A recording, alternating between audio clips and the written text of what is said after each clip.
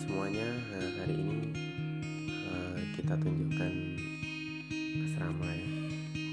Contoh asrama di Jepang nah seperti ini.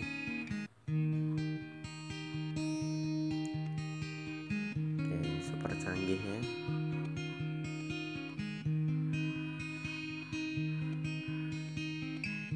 Peralatannya serba bagus. Karena sudah bersih seperti ini ya. Ketika kalian tinggal di Jepang ya usahakan harus tetap bersih-bersih agar terjaga kebersihannya.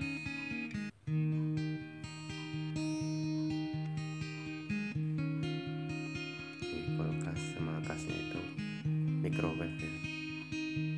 Yang samping kulkas itu alat penyedot debunya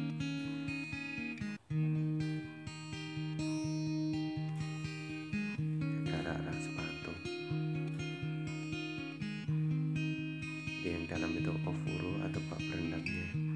Jadi kalau ingin berendam ya di situ ya.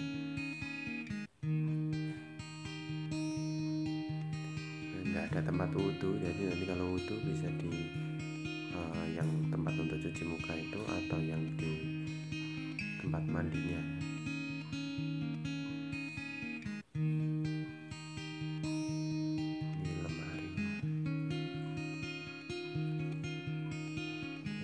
asrama baru ya untuk peserta baru. Jadi belum pernah dihuni